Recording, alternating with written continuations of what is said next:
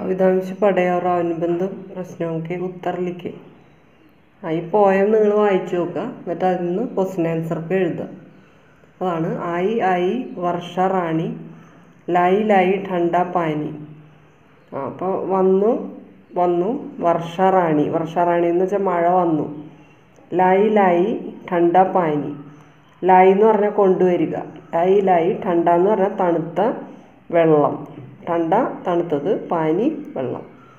വർഷ എന്ന് പറഞ്ഞാൽ മഴ വർഷറാണി അതിനെ ഇതാക്കി പറയണതാണ് ഒരു ഇത് അതിശയോക്തി കലർത്തി കൊടുക്കുന്നതാണ് വർഷറാണി എന്ന് പറഞ്ഞാൽ.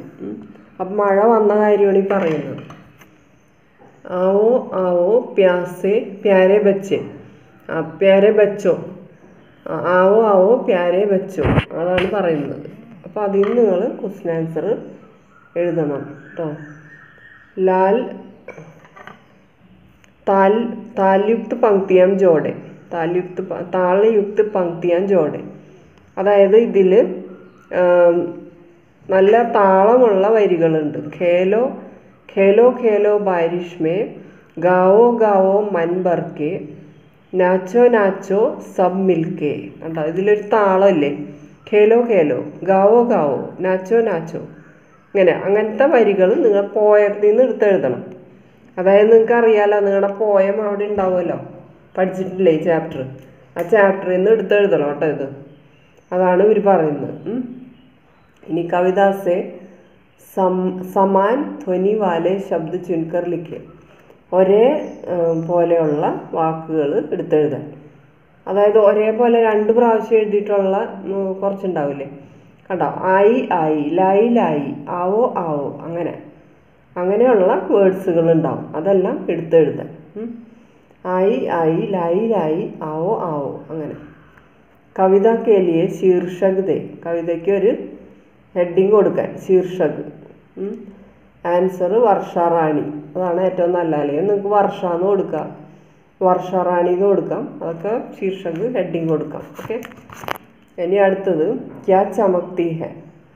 എന്താണ് തിളങ്ങുന്നതെന്ന്? ബിജിലി തിളങ്ങുന്നത് ബിജിലിയാണ് അത് ക്വസ്റ്റ്യൻ ആൻസർ പോലെ കേട്ടോ അപ്പോൾ നിങ്ങൾക്ക് മീനിങ്സ് ഈ ചാപ്റ്റർ നന്നായി വായിച്ചാലേ നിങ്ങൾക്ക് ഇതിന്റെ ആൻസർ എഴുതാൻ പറ്റുള്ളൂ. ഓക്കെ ഇതിൽ അധികം തന്നിട്ടില്ല. ഇവിടെ തന്നിട്ടുള്ളതിനല്ല ഇപ്പോൾ ചോദിച്ചിട്ടുള്ളത്. കേട്ടോ ബിജിലി ബിജിലി എന്ന് പറഞ്ഞാൽ ലൈറ്റ്നിങ് ആണ്. അതാണ് ചമക്തി ഗാവ് ഗാവ് മേ ക്യാ രസ് ബർസാത്തെ ഹെ? ക്യാ ഗാവ് ഗാവിൽ അതായത് വില്ലേജുകളിലൊക്കെ എന്താണ് രസം പെയ്യുന്നത്. ബാദൽ ദാനി എന്നുള്ള ഇതാണ് ബർസാത്തെ ബാദൽ ദാനിയാണ് പെയ്യുന്നത്. കവിക്ക് അനുസാർ ബാദൽ ദാനി ക്യാ ക്യാ കരെ. ആ കവിക്ക് അനുസരിച്ച് ബാദൽ ദാനി എന്തൊക്കെയാണ് ചെയ്യുന്നത്? ധ്യാൻ കെ ഖേത്ത് ഫസൽ സെ മഹക്കെ ദാൻ ധ്യാനല്ല ദാൻ കെ ഖേത്ത്. ദാൻ കെ ഹെ- ഖേത്ത്. ധാൻ എന്ന് പറഞ്ഞാൽ വിളവ്. പല സാധനങ്ങൾ ഉണ്ടാവില്ലേ? നമ്മൾ പാടത്തൊക്കെ. നെല്ല് ഗോതമ്പ് അങ്ങനത്തെ പലതും ഉണ്ടാവില്ലേ? അപ്പോൾ അങ്ങനത്തെ ധാന ധാന്യങ്ങൾ കൊണ്ട് ഖേത്ത് പാടം ഫീൽഡ് ഫസൽ എന്ന് പറഞ്ഞാൽ വിളവാണ്. ഫസൽ അപ്പോൾ അങ്ങനത്തെ സാധനങ്ങൾ കൊണ്ട് നിറയട്ടെ എന്ന് മേക്കെ അത് നിറഞ്ഞ് കവിയട്ടെ എന്ന് രാഹെ ഓർ കാട്ട് ഹരിയാലി സെ ലേക്കെ രാഹേ എന്ന് വെച്ചാൽ വഴികൾ പറമ്പും പാടങ്ങളൊക്കെ ഇല്ലേ? ഹരിയാലി പച്ചപ്പ് കൊണ്ട് നിറയട്ടെ ലേക്കെ എന്ന് പറഞ്ഞാൽ നിറയാം തിളങ്ങട്ടെ. വേണ്ടോം തക്ക് പാനി ദേഖ് ദേക്കർ കിസാൻ ക മൻ ഗായെ ഓർ ചഹക്കെ. ആ ഇവിടെ എല്ലാ സ്ഥലത്തും വെള്ളം നിറഞ്ഞ കണ്ടിട്ട് കിസാൻ ക മൻ ഗായ ഓർ ചഹക്കെ. വെള്ളം നന്നായിട്ട് പെയ്യുന്നത് കൊണ്ട് മഴ നന്നായി പെയ്യുന്നത് കൊണ്ട് കൃഷിക്കാർക്കൊക്കെ നന്നായി ഈ വിളവുകൾക്കൊക്കെ നല്ല വെള്ളം കിട്ടുമല്ലോ. അപ്പം അങ്ങനെ ആയിട്ട് അത് അവരുടെ മനസ്സ് നിറയട്ടെ എന്നാണ് കവി പറയുന്നത് അപ്പോൾ ഇത് ഇതൊക്കെ നിങ്ങൾ അതിൽ പഠിക്കണം കേട്ടോ. ചാപ്റ്ററിൽ നിന്ന് പഠിക്കേണ്ടി വരും. പെട്ടെന്ന് ഇവിടെ നിന്ന് എടുത്ത് എഴുതാൻ പറ്റില്ല ആ ടെക്നിക്ക് നടക്കില്ല കേട്ടോ ഇവിടെ. അപ്പോൾ ചാപ്റ്ററുമായിട്ട് നിങ്ങൾക്ക് നല്ല കണക്ഷൻ വേണം. ചാപ്റ്റർ വായിക്കുക.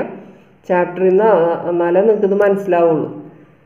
ഞാൻ ആ ചാപ്റ്ററിന്റെ വീഡിയോ ഇട്ടിട്ടുണ്ടോ എന്ന് സംശയമുണ്ട് ഇല്ലെങ്കിൽ ഞാൻ ഇടാം. ബാദൽ ദാനി എന്നുള്ള ചാപ്റ്റർ ഇട്ടിട്ടില്ല ഞാൻ അതിന്റെ എക്സ്പ്ലനേഷൻ ഇടാം കേട്ടോ വീഡിയോ. Okay thank